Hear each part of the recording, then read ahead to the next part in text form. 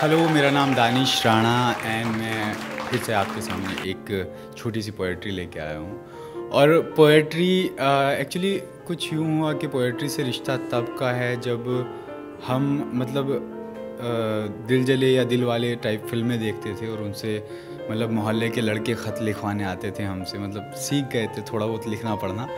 तो उस टाइम पे मोहल्ले के कुछ लड़के नए नए आशिक हुए तो हमसे ख़त लिखवाने आते थे। और उसके बदले में उसके बदले में आ, हमें चॉकलेट वगैरह या टॉफ़ी वगैरह या दो तीन रुपए मिल जाते थे। तो उस ज़माने से हम आ, करते आ रहे हैं। वो वो ज़माना था कि दिल में जो लगी आग ज़माने में लगा दूँगा। वो वाला मतलब अच्छा सा लगता था वो। और बड़े बड़े शिद्दत से ख़त लिखा करते थे। तो अभी जो पोइट्री है उसका उनवान याद है। और किसकी है कैसे है वो मैं सारा का सारा बता दूँगा आपको अभी।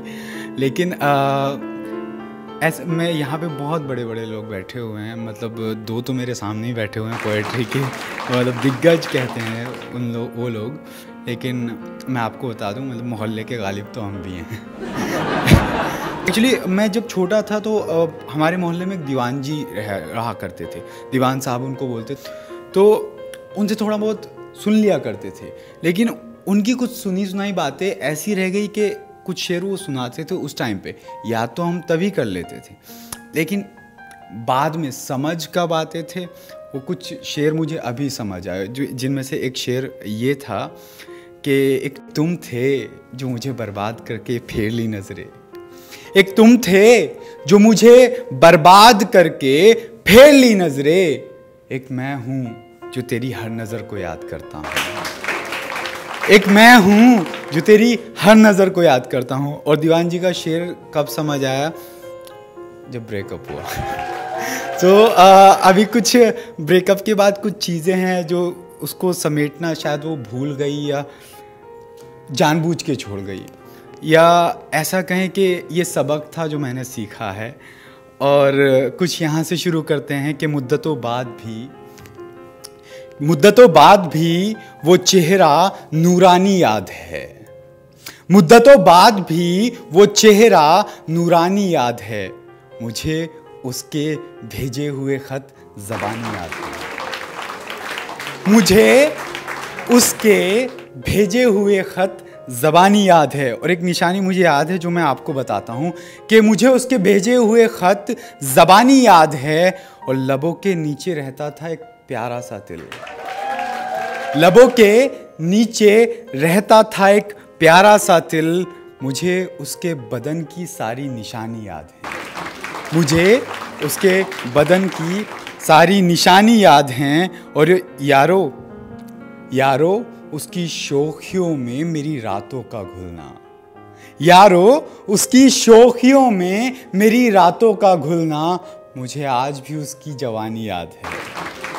मुझे आज भी उसकी जबानी याद है और इतरा के कहती थी बड़े शौक से सारी कहानी। इतरा के कहती थी बड़े शौक से सारी कहानी। आज भी मुझे उसकी सारी कहानी याद है। आज भी मुझे उसकी सारी कहानी याद है। और ऐसा होता ना कि कहीं ना कहीं मेल ही जाते हैं। और मोहब्बत में जो वादे होते हैं ना मतलब लड़की का तो पता नहीं लेकिन लड़का तो भूलता ही नहीं। ये तो मैं मतलब मैं नहीं भूला। आई थिंक देखो भाई को भी हँसी आ गई इनको भी कोई वादा याद आया होगा शायद। सो so, ऐसा सा कुछ है कि कुछ वादे करते हैं ना कि ठीक है लेकिन बाद में वैसा होता नहीं।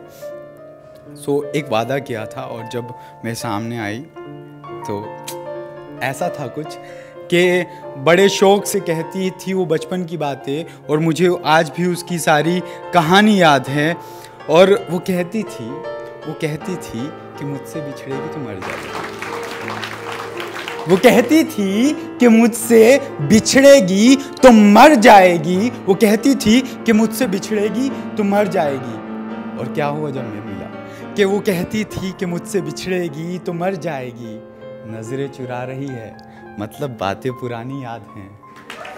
नज़रें चुरा रही है मतलब बातें पुरानी याद हैं। थैंक यू सो मच यहाँ थैंक यू सो मच